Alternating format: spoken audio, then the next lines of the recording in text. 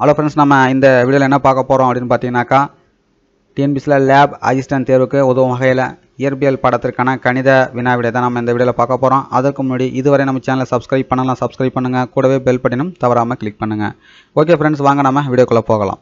ஒரு சுருளில் பாயும் ஃபோர் ஏ மின்னோட்டம் பாயிண்ட் ஃபைவ் எஸ் காலத்தில் எயிட் ஏ ஆக மாறும்போது மற்றொரு சுருளில் ஐம்பது மில்லி வோல்ட் மின்னியக்கு விசை தூண்டப்படுகிறது எனில் அவ்விரு சுருள்களுக்கிடையே உள்ள பரிமாற்று மின் தூண்டல் எண்ணை கணக்கிடுக. இதுக்கான ஃபார்முலா என்ன அப்படின்னு பார்த்தீங்கன்னாக்கா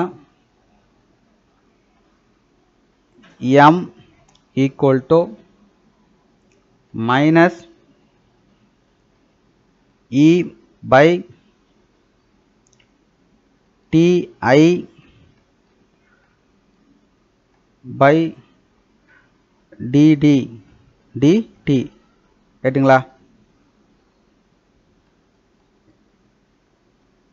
minus E by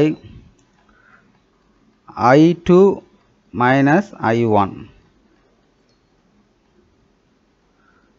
divided by T ரைட்டுங்களா இப்போ இதில் பார்த்தீங்கன்னாக்கா ஐம்பது மில்லி வோல்ட் இதை எல்லாம் ஐம்பது into ten power minus three divided by எட்டு அதுக்கப்புறம் பார்த்தீங்கன்னா நாலு. எட்டு மைனஸ் நாலு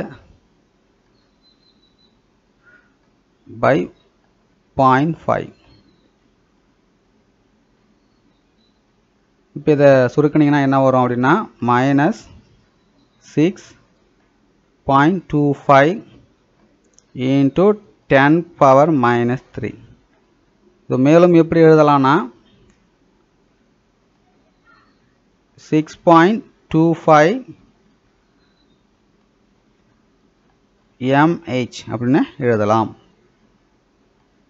ஓகே ஃப்ரெண்ட்ஸ் இந்த வீடியோ உங்களுக்கு பிடித்திருந்தால் லைக் பண்ணுங்கள் கமெண்ட் பண்ணுங்கள் ஷேர் பண்ணுங்கள் நம்ம அடுத்த வீடியோ சந்திப்போம். நன்றி வணக்கம்.